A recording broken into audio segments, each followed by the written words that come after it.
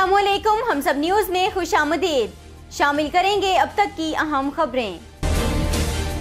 Year marshal Mujahid Anwar Khan کو پاک فضائیہ کا نیا سربراہ نامزد کر دیا گیا. ترجمان پاک فضائیہ کے مطابق ایئر مارشل مجاہد انور خان کو پاک فضائیہ کا نیا سربراہ نامزد کر دیا گیا ہے. وہ موجودہ ایئر چیف مارشل سہیل امان کی ریٹائرمنٹ کے بعد ذمہ داریاں سنبھالیں گے. مجاہد انور خان نے پاکستان ایئر فورس کی جی ڈی پی برانچ میں دسمبر انیس سو تراسی میں کمیشن حاصل کیا. اور وہ chairman joint chief of staff committee gold medal کے حقدار قرار پائے۔ وہ chief of the air staff کے پرسنل سٹاف آفیسر، اسسٹنٹ اور deputy chief of the air staff سمیت director general C four I کے طور پر بھی خدمات سر انجام دے چکے ہیں۔ مجاہد انور خان کو ہلال امتیاز ملٹری ستارہ امتیاز ملٹری اور تمغہ امتیاز ملٹری سے بھی نوازا گیا۔ ایئر مارشل سہیل امان کو پاک فضائیہ کا سربراہ اٹھارہ مارچ دو ہزار پندرہ کو مقرر کیا گیا تھا اور اس طرح وہ دو روز بعد اٹھارہ مارچ دو ہزار اٹھارہ کو اپنے عہدے سے ریٹائرڈ ہو جائیں گے۔ سابق صدر پرویز مشرف نے وطن واپسی کا فیصلہ کر لیا۔ پرویز مشرف کی جانب سے وزارت داخلہ اور دفاع کو تیرہ مارچ کو بذریعہ کوریئر درخواست موصول ہو چکی ہے۔ سابق صدر جنرل ریٹائرڈ پرویز مشرف نے وطن واپسی کا فیصلہ کرتے ہوئے اپنی سیکیورٹی کے لیے حکومت کو درخواست دے دی ہے۔ ذرائع کے مطابق اس سلسلے میں وزارت داخلہ اور دفاع کو تیرہ مارچ کو بذریعہ کوریئر درخواست موصول ہوئی۔ پرویز مشرف کی درخواست موصول ہونے پر وزارت داخلہ میں مشاورت کا عمل جاری ہے، جبکہ ان کی سیکیورٹی کے لیے درخواست متعلقہ وزارتوں کو بھجوائی جا چکی ہے۔ پرویز مشرف کے وکیل کا کہنا ہے کہ سابق صدر پاکستان آ کر عدالتوں میں پیش ہونا چاہتے ہیں۔ تاہم ان کی وطن واپسی پر سیکیورٹی خدشات ہیں۔ خصوصی عدالت نے اپنے تحریری حکم نامے میں کہا ہے کہ پرویز مشرف کی واپسی کے لیے حکومت کے اب تک کے اقدامات مایوس کن ہیں۔ سابق صدر جنرل ریٹائرڈ پرویز مشرف سات روز میں وطن واپسی کے حوالے سے وزارت داخلہ کو تحریری جواب دیں۔ تاہم، اگر وہ جواب نہ دیں تو حکومت انہیں گرفتار کر کے واپس لائے اور وزارت داخلہ ان کی گرفتاری کے لیے انٹرپول سے بھی رابطہ کرے، جبکہ وزارت داخلہ پرویز مشرف کا پاسپورٹ اور قومی شناختی کارڈ بھی معطل کر سکتی ہے۔ خصوصی عدالت کے حکم نامے میں کہا گیا ہے کہ پرویز مشرف عدالتی مفرور اور اس وقت دبئی میں رہائش پذیر ہیں۔ پاکستان اور متحدہ عرب امارات کے درمیان مجرموں کے تبادلے کا معاہدہ موجود ہے۔ معاہدے کے تحت پرویز مشرف کی گرفتاری اور دبئی کی جائیداد ضبط ہو سکتی ہے۔ سپریم کورٹ نے کے ڈی اے کو رفاہی پلاٹوں پر قبضہ ختم کرا کے رپورٹ دوبارہ پیش کرنے کا حکم دے دیا۔ سپریم کورٹ کراچی رجسٹری میں پینتیس ہزار رفاہی پلاٹوں پر قبضے سے متعلق کیس کی سماعت ہوئی۔ تو director general Karachi development authority نے عدالت میں پیش ہو کر بتایا کہ کے ڈی اے نے سترہ سو سے زائد تجاوزات ختم کر دی ہیں۔ اس پر جسٹس گلزار احمد نے ڈی جی کے ڈی اے پر برہمی کا اظہار کرتے ہوئے کہا کہ گلستان جوہر میں جگہ جگہ قبضہ ہے۔ آپ کیا کر رہے ہیں؟ کے ڈی اے کے وکیل نے بتایا کہ تجاوزات کے خلاف کارروائی میں مشکلات ہیں۔ پولیس اور دیگر اداروں کی مدد درکار ہے۔ اس پر جسٹس گلزار نے کہا کہ ہم نہیں جانتے آپ کی ذمہ داری ہے تو آپ کارروائی کریں۔ عدالت نے ریمارکس دیے کہ خالی پلاٹ پر پہلے گدھا گاڑی کھڑی کرتے ہیں، جھنڈا لگاتے ہیں اور پھر جھونپڑی بنا کر خالی پلاٹ پر قبضہ کر لیتے ہیں۔ عدالت نے کے ڈی اے کو چائنا کٹنگ اور غیر قانونی قبضہ ختم کر کے دوبارہ رپورٹ پیش کرنے کا حکم دے دیا ہے۔ نقیب قتل کیس ملزم راؤ انوار کی گرفتاری کے لیے آئی جی سندھ نے مزید مہلت مانگ لی۔ تفصیلات جانتے ہیں ہم سب ٹی وی کی اس رپورٹ میں۔ جعلی پولیس مقابلے میں مارے جانے والے شہری نقیب اللہ قتل کیس کے روپوش پولیس افسر راؤ انوار گرفتاری کے لیے آئی جی سندھ نے عدالت سے مزید مہلت مانگ لی۔ Chief justice of Pakistan justice Mian Saqib Nisar کی سربراہی میں تین رکنی بینک نے سپریم کورٹ کراچی رجسٹری میں نقیب محسود قتل از خود نوٹس کیس کی سماعت کی۔ اس موقع پر آئی جی سندھ اللہ ڈینو خواجہ نے عدالت کو بتایا کہ راؤ انوار کی بیرون ملک فرار کی کوشش سے متعلق اسلام آباد اور کراچی ایئرپورٹس کی تصاویر حاصل کر لی ہیں۔ جو ویڈیوز ہمارے پاس ہیں وہ واضح نہیں۔ مزید فوٹیجز درکار ہیں۔ آئی جی سندھ نے عدالت سے راؤ انوار گرفتاری کے لیے مزید مہلت کی استدا کی، جس پر چیف جسٹس نے کہا کہ آپ کو کتنی مہلت دی جائے۔ آئی جی سندھ نے کہا کہ آئندہ دو تین روز میں راؤ انوار گرفتاری میں پیش رفت ہو جائے گی، جس پر چیف جسٹس نے انہیں حکم دیا کہ پیر انیس مائی تک رپورٹ جمع کرائیں اور اسی روز نقیب اللہ قتل کیس اسلام آباد میں سنیں گے۔ Avenfield reference Wajid Zia کا مکمل بیان آج بھی ریکارڈ نہ ہو سکا۔ سماعت بیس مارچ تک ملتوی۔ تفصیلات جانتے ہیں ہم سب ٹی وی کی اس رپورٹ میں۔ احتساب عدالت کے جج محمد بشیر نے شریف خاندان کے خلاف نیب ریفرنس کی سماعت کی۔ آج سماعت کے موقع پر نواز شریف، مریم نواز اور کیپٹن ریٹائر صفدر بھی احتساب عدالت میں پیش ہوئے۔ تاہم، بعد ازاں سابق وزیر اعظم اور ان کی صاحبزادی کو جاننے کی اجازت دے دی گئی۔ گزشتہ روز سماعت کے دوران واجد ضیاء نے قطری شہزادے سے خط و کتابت کا ریکارڈ پیش کیا تھا، جسے بطور شواہد عدالتی ریکارڈ کا حصہ بنا دیا گیا۔ دوسری جانب، عدالت نے جے آئی ٹی کی مکمل رپورٹ کو بطور شواہد عدالتی ریکارڈ کا حصہ نہ بنانے کی مریم نواز کی درخواست جزوی طور پر منظور کر لی تھی۔ آج سماعت کے دوران واجد ضیاء نے بیان ریکارڈ کرنے سے پہلے دوبارہ سچ بولنے کا حلف لیا اور سپریم کورٹ کو بھجوایا گیا۔ قطری شہزادے حمد بن جاسم کا اصل خط احتساب عدالت میں پیش کیا گیا۔ جج محمد بشیر نے استفسار کیا کہ خط کو ریکارڈ پر لانے کے لیے کوئی درخواست دے رہے ہیں، جس پر پروسیکیوٹر جنرل نیب سردار مظفر عباسی نے کہا کہ جائزہ لے رہے ہیں۔ درخواست دے کر خط کو ریکارڈ پر لانے کا فیصلہ بعد میں ہوگا۔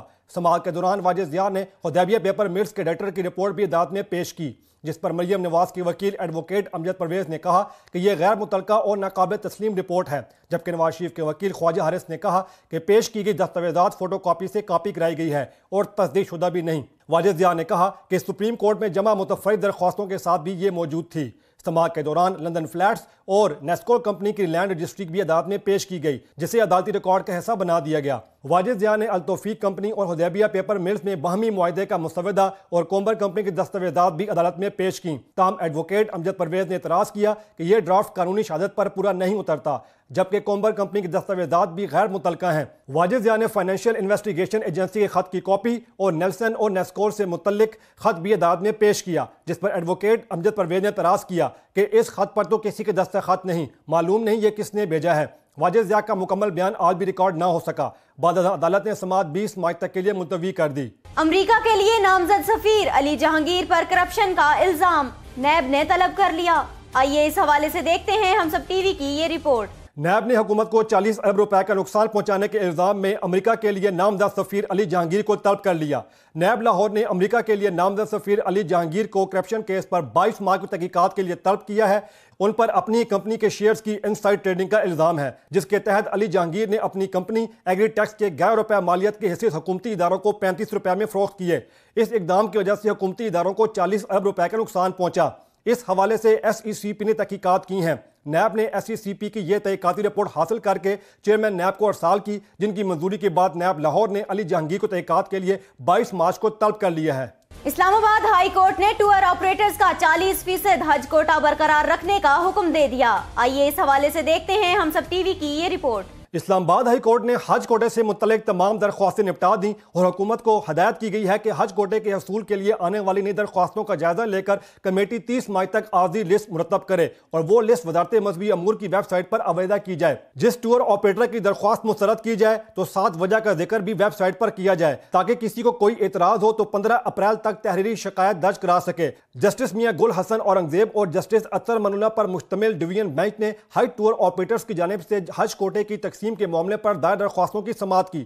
ملک بھر سے آئے ہوئے ٹور آپریٹرز کی کثیر تعداد عدالت میں موجود تھی۔ عدالتی حکم میں کہا گیا کہ جو شہری وزارت مذہبی امور کے پاس بطور ہائی ٹور آپریٹرز رجسٹریشن کروانا چاہتے ہیں، ان کے حوالے سے سپریم کورٹ کے حکم میں بنائی گئی کمیٹی ضابطہ کار وضع کرے۔ وزارت داخلہ میں حساس عہدوں پر تعینات، افسران کو فوری طور پر ہٹانے کا حکم جاری کر دیا گیا۔ ترجمان وزارت داخلہ کے مطابق قومی ادارے میں اہم عہدوں پر تعینات دوہری شہریت کے حامل افسران کو فوری طور پر ان کے عہدوں سے ہٹانے کا حکم صادر کر دیا گیا ہے۔ یہ حکم وزیر داخلہ چودھری احسن اقبال کی جانب سے جاری کیا گیا ہے۔ انہوں نے حکم دیا ہے کہ دوہری شہریت رکھنے والے تمام افسران کو ان کے عہدوں سے ہٹا دیا جائے۔ سرکاری ملازمین کی دوہری شہریت کے معاملے میں وفاقی حکومت نے تمام ملازمین کا سروے شروع کر دیا ہے۔ اس سلسلے میں تمام وزارتوں اور ڈویژنز کے ملازمین میں حلف نامہ تقسیم کیا گیا ہے۔ ذرائع کے مطابق ایف آئی اے اور نادرا دوہری شہریت والے ملازمین کا کھوج لگائیں گے۔ نادرا نے پورٹل بنا کر تمام وزارتوں اور ڈویژنز کے حوالے کر دیا ہے۔ نادرا نائکوپ رکھنے والے ملازمین کا ڈیٹا بھی ایف آئی اے کے حوالے کرے گا، جبکہ ایف آئی اے مربوط سرحدی انتظامی سسٹم کے ذریعے بھی چھان بین کرے گی۔ وزیر اعظم کے مشیر برائے خزانہ امور مفتا اسماعیل کہتے ہیں، ممکن ہے کہ آئندہ برسوں میں پاکستان پر قرضوں کی شرح میں مزید اضافہ ہو جائے۔ مشیر خزانہ مفتا اسماعیل کا کہنا تھا کہ اللہ کی مہربانی سے معیشت مثبت سمت جا رہی ہے اور مہنگائی کی شرح چار فیصد سے کم ہے۔ آئندہ مالی سال کا بجٹ ستائیس اپریل کو پیش کر رہے ہیں۔ ان کا کہنا تھا کہ اس وقت اسٹیٹ بینک کے پاس ساڑھے بارہ ارب ڈالر موجود ہیں، جبکہ زر مبادلہ کے ذخائر بارہ ارب بیس کروڑ ڈالرز ہیں۔ انہوں نے کہا کہ ملک کا کرنٹ اکاؤنٹ خسارہ زیادہ ہے، جبکہ سود کی ادائیگیاں تین ارب ڈالرز ہیں جو قوم پر بوجھ ہیں۔ مفتا اسماعیل کا کہنا تھا کہ معیشت کی بہتری کے لیے حکومت اصلاحات کر چکی ہے اور دو ہزار اٹھائیس اور دو ہزار تیس تک کے بیرون قرضوں کی ادائیگیوں کی منصوبہ بندی کر چکے ہیں۔ مشیر خزانہ نے کہا کہ پاکستان اسٹیل کی نجکاری ہونی چاہیے کیونکہ پاکستان اسٹیل میں دس گنا زیادہ ملازمین ہیں۔ اتنے ملازمین کسی بھی ملک کی اسٹیل مل میں نہیں ہیں۔ انہوں نے کہا کہ پاکستان اسٹیل سندھ حکومت کو ایک روپے میں دینے کی آفر کی تھی، لیکن سندھ حکومت نے اسٹیل ملز کی آفر کو مسترد کر دیا۔ نیب نے سعد رفیق، پختونخوا کے وزیر اور دو ایم پی ایز کے خلاف انکوائری کا حکم دے دیا۔ تفصیلات جانتے ہیں ہم سب ٹی وی کی اس رپورٹ میں۔ Chairman NAB justice retire Javed Iqbal نے کہا ہے کہ نیب بدعنوانی خاتمے کو اپنا قومی فریض سمجھتا ہے۔ ملک سے بدعنوانی کا خاتمہ جہاں پوری قوم کی آواز ہے، وہاں نیب افران بھی اپنی بہترین صلاحیتوں کے ساتھ قانون کے مطابق بلا امتیاز اپنے فرائض سر انجام دے رہے ہیں۔ نیب ہیڈ کوارٹرز میں ایک اجلاس کی صدارت کرتے ہوئے چیئرمین نیب نے اجلاس میں وزیر railway Khawaja Saad Rafique, railway sector division کے افسران اور دیگر خلاف پاکستان ریلوے میں ٹنڈو آدم سے روڑے تک modern computer based interlocking system کی تنصیب میں بدعنوانی جنریٹر اور دیگر آلات کی خریداری میں خود بود کی شکایات کی جانچ پڑتال کا حکم دیا ہے۔ اجلاس میں خیرپور سے ممبر قومی اسمبلی نواب وسان اور دیگر خلاف آمدن سے زائد اثاثے بنانے کے الزام میں شکایات کی جانچ پڑتال کا حکم دیا گیا ہے۔ اجلاس میں خیبر پختونخوا کے صوبائی وزیر قانون Imtiaz Shahid Qureshi, M P A Ziaullah Bangash, M P A Amjad Afridi اور ڈسٹرکٹ ایجوکیشن آفس کوہاٹ کے افسران کے خلاف ڈسٹرکٹ ایجوکیشن کوہاٹ میں ایک سو گیارہ افراد کی غیر قانونی تقرری، رشوت لینے، آمدن سے زائد اثاثے بنانے کے الزام میں شکایات کی جانچ پڑتال کا حکم دیا گیا ہے۔ سابق وزیر داخلہ چودھری نثار ایک مرتبہ پھر حکومت کے بجائے اپوزیشن کے ہم نوا بن گئے۔ تفصیلات جانتے ہیں ہم سب ٹی وی کی اس رپورٹ میں۔ سابق وزیر داخلہ چودھری نثار ایک مرتبہ پھر حکومت کی بجائے اپوزیشن کے ہم نواب بن گئے۔ شریف خاندان کا نام ای سی ایل میں نہ ڈالے جانے کے سوال پر چودھری نثار نے کہا کہ نیب کی سفارش کے باوجود نام ای سی ایل میں نہ آنے کا مطلب یہ ہے کہ فیصلہ کہیں اور ہوا۔ قومی اسمبلی اجلاس میں پیپلز پارٹی کے رکن سید امید کمر نے سوار کیا کہ کچھ نیب کیسز میں تو ملزمان کے نام فوری طور پر ای سی ایل میں ڈال دیے جاتے ہیں، مگر نواز شریف اور ان کے بچوں کے نام نیب کی سفارش کے باوجود ای سی ایل میں نہیں ڈالا گیا۔ ای سی ایل سے متعلق یہ دوہرا معیار کیوں ہے؟ اپوزیشن رکن کے سوال کا جواب دینے کے لیے وفاقی وزیر داخلہ احسن اقبال اور وزیر مملکت طلال چودھری ایوان میں موجود نہیں تھے۔ کوئی اور وزیر بھی سامنے نہ آیا تو اچانک سابق وزیر داخلہ چودھری نثار کھڑے ہو گئے اور کہا کہ دو ہزار تیرہ سے پہلے ای سی ایل میں نام ڈالنے کے لیے سفارش چلتی تھی۔ اگر میاں بیوی کا جھگڑا بھی ہو جاتا تو کسی ایک کا نام ای سی ایل میں ڈال دیا جاتا تھا۔ چوئی نصار نے کہا کہ انہوں نے اپنے دور میں ای سی ایل کی پالیسی تبدیل کی اور اس معاملے میں وزیر اور سیکٹری کا کردار ختم کر دیا۔ اب وزارت داخلہ کی ایک کمیٹی اس بات کا فیصلہ کرتی ہے کہ نام ای سی ایل میں ڈالا جائے یا نہیں۔ سابق وزیر داخلہ نے کہا کہ ان کے دور میں وزارت داخلہ کی یہ کمیٹی میرٹ پر فیصلہ کرتی تھی اور نیب کی سفارش کو سنجیدگی سے لیا جاتا تھا۔ اب اگر اس کیس میں نیب کی سفارش کو نظر انداز کیا گیا ہے تو اس کا مطلب ہے کہ یہ فیصلہ کمیٹی نے نہیں بلکہ کہیں اور سے ہوا ہے۔ پاکستان تحریک انصاف کے چیئرمین عمران خان کہتے ہیں، ملتان میٹرو شریفوں کی تجوریاں بھرنے کے لیے بنائی گئی ہے۔ عمران خان کا کہنا ہے کہ ملتان میٹرو منصوبے کے حوالے سے جس حقیقت کا میں نے مشاہدہ کیا اور ملتان کے باسیوں نے اس کی تصدیق بھی کی ہے، وہ یہ ہے کہ اس منصوبے کا مقصد عوام کو سہولت پہنچانا نہیں تھا، بلکہ دیگر منصوبوں کی طرح ملتان میٹرو بھی کمیشن کے پیسے سے شریفوں کی تجوریاں بھرنے کے لیے بنائی گئی ہے۔ الیکشن کمیشن نے پاکستان مسلم لیگ نون کو شہباز شریف کے نام سے رجسٹرڈ کر لیا۔ سپریم کورٹ نے الیکشن ایکٹ بل کا فیصلہ سناتے ہوئے میاں نواز شریف کو بطور پارٹی صدر کے لیے بھی نااہل قرار دیا تھا، جس کے بعد مسلم لیگ نون کی مجلس شورا نے میاں شہباز شریف کو پارٹی کا نیا صدر مقرر کیا، جس کی منظوری جنرل ورکرز اجلاس سے لی گئی۔ الیکشن کمیشن نے میاں شہباز شریف کے پارٹی صدر بننے کے بعد پاکستان مسلم لیگ نون کو ان کے نام سے رجسٹرڈ کر دیا ہے۔ احتساب کمیشن نے اے این پی دور حکومت میں من پسند مدارس کو رقوم دینے کے خلاف ایکشن لے لیا۔ احتساب کمیشن خیبر پختونخوا نے اے این پی دور حکومت میں مدارس کو دی جانے والی رقوم کی تحقیقات کا آغاز کر دیا۔ سابق وزیر اعلیٰ امیر حیدر خان ہوتی کے دور میں مدارس کے نام پر من پسند افراد کو رقوم دی گئیں، جبکہ بھاری فنڈز اور مساجد اور مدارس کے نام پر فنڈز بھی اسی طرح من پسند افراد کو دیے گئے۔ احتساب کمیشن کی تحقیقاتی ٹیموں نے مردان میں دی جانے والی رقوم کی تفصیلات جمع کرنی شروع کر دی ذرائع کے مطابق اس کیس میں سابق بیوروکریٹ سے بھی تحقیقات کی جائیں گی۔ متحدہ کے منحرف اراکین کی نااہلی کے لیے درخواست پر سماعت بارہ اپریل تک ملتوی کر دی گئی۔ تفصیلات جانتے ہیں ہم سب ٹی وی کی اس رپورٹ میں۔ الیکشن کمیشن میں ڈپٹی میئر کراچی ارشد بہرا اور ایم کیو پاکستان کے منحرف اراکین کی نااہلی سے متعلق ڈاکٹر فاروق ستار کی دائر کر درخواست کی سماعت member election commissioner Abdul Ghaffar Soomro کی سربراہی میں چار رکنی بینچ نے کی۔ ارشد بہرا اور منحرف اراکین کے وکیل، جبکہ درخواست گزار ڈاکٹر فاروق ستار کے وکیل بھی پیش ہوئے۔ جوان سماعت، ڈپٹی میئر کراچی ارشد بہرا کے وکیل نے دلائل دیتے ہوئے موقف اختیار کیا کہ ایم کیو ایم کی کنوینرشپ کا معاملہ بھی الیکشن کمیشن میں زیر سماعت ہے۔ اس کیس کے فیصلے کے بعد ہی دلائل دے سکوں گا۔ اس پر member election commissioner justice retired Irshad کیسا نے ریمارکس دیے کہ بعض اراکین کو جواب جمع کرنا تھا، ان کے جواب نہیں آئے۔ ارم عظیم فاروقی الیکشن کمیشن میں پیش ہوئیں۔ الیکشن کمیشن نے ارم عظیم کو تحریری جواب جمع کرانے کی ہدایت کر دی۔ ارم عظیم فاروقی کا کہنا تھا کہ میں نے کسی پارٹی میں شموت اختیار نہیں کی۔ پھر بھی ڈیسیٹ کرنے کا نوٹس دیا گیا۔ سماعت کے بعد الیکشن کمیشن کے باہر میڈیا سے گفتگو کرتے ہوئے ڈپٹی میئر کراچی ارشد بورا نے کہا کہ ایم کیو پاکستان کی کنوینرشپ کے مسئلے کی وجہ سے اگلی تاریخ دی گئی ہے۔ آپس کی لڑائی میں پڑے ہوئے ہیں، کراچی کے عوام کو کسی کی فکر نہیں۔ ایم کیو پاکستان کی سربراہی کا فیصلہ چھبیس مارچ کو ہوگا، جس کے بعد منحرف ارکان کے بارے میں فیصلہ کیا جائے گا۔ الیکشن کمیشن سے درخواست ہے کہ جلد فیصلہ کرے تاکہ کراچی کے عوام کی محرومیاں کم ہو سکیں۔ یمن میں مسلح حوثی باغی اور سعودی حکام مذاکرات کی میز پر بیٹھ گئے۔ یہ خفیہ مذاکرات سعودی سفارتکار اور حوثی باغیوں کے ترجمان محمد عبدالسلام کے درمیان یمن میں ہو رہے ہیں اور ان مذاکرات کا ایک دور مکمل بھی ہو چکا ہے۔ دونوں فریقین کے درمیان یمن میں جاری خانہ جنگی کے خاتمے اور قیام امن کے لیے ایک پائیدار حل کی تلاش کے لیے مذاکرات کا راستہ اختیار کیا ہے۔ مذاکرات کے ذریعے بحران کے پائیدار حل کے لیے دونوں فریقین پر اعتماد نظر آتے ہیں۔ تین سال سے جاری یمن میں خانہ جنگی کو رکوانے کے لیے سعودی حکام اور حوثی باغی سر جوڑ کر بیٹھ گئے ہیں، لیکن سرکاری سطح پر کسی نے مذاکرات کے عمل پر کسی کسی قسم کے تبصرے سے انکار کر دیا ہے۔ تاحال مذاکرات کی تردید بھی سامنے نہیں آئی۔ سعودی حکام اور حوثی باغیوں کے درمیان مذاکرات کا عمل سعودی ولی عہد محمد بن سلمان کی جانب سے یمن کے پر امن اور بات چیت کے ذریعے حل کو ڈھونڈنے کا اندیا دینے کے بعد شروع کیا گیا ہے۔ جس کے بعد امید کی جا رہی ہے کہ یمن میں جاری خون ریزی تھم جائے گی۔ یمن میں خانہ جنگی اور عرب ممالک کی فضائی کارروائیوں میں اب تک ہزاروں افراد لکمائے اجل بن چکے ہیں۔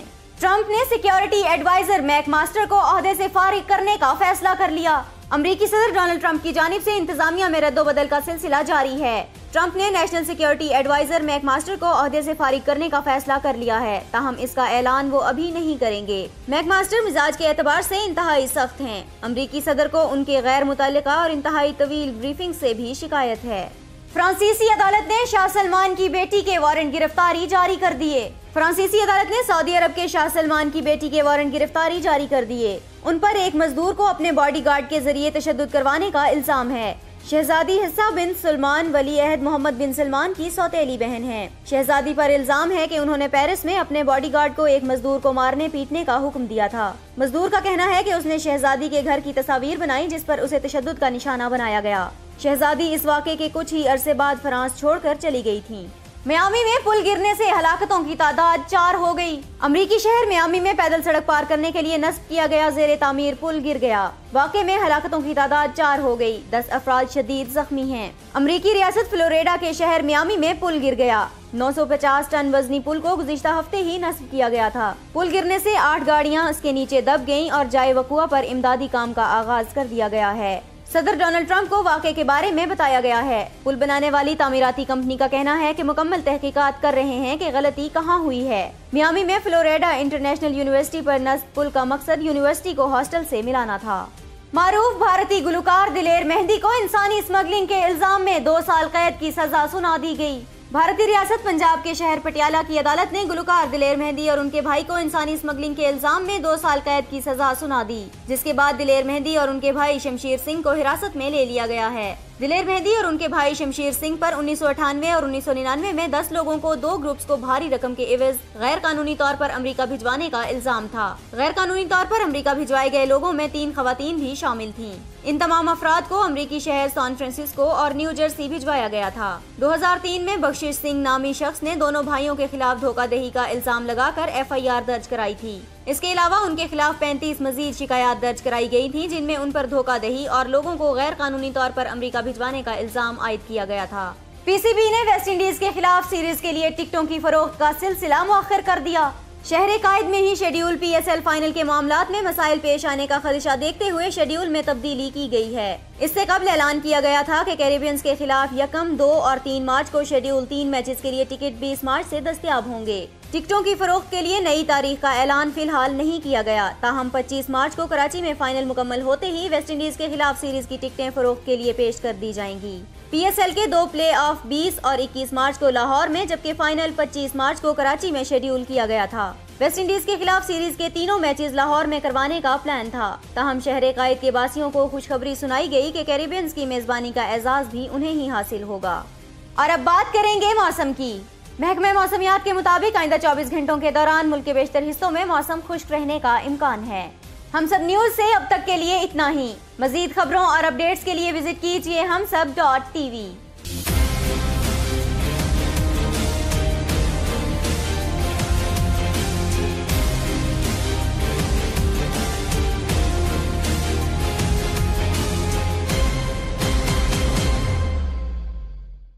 Please subscribe to Humsup TV and hit the notification icon on the screen to get the latest updates of our channel. Thank you for watching Humsup TV.